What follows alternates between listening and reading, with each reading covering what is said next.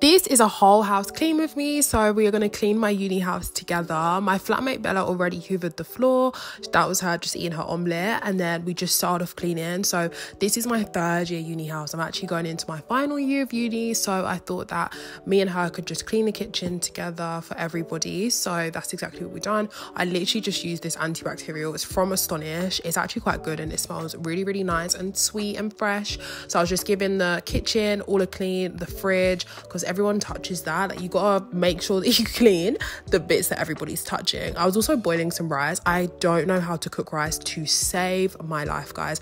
It literally turned out like mush. Like it was so watery. So honestly, in three years, I still don't know how to cook, but that's fine. Uh, I wanted to also just fluff up the couch. I never sit here, honestly, but it literally looked like you could barely even sit on it. So I was just sorting that out. Then I wanted to give down the little TV stand, a. We've got two TVs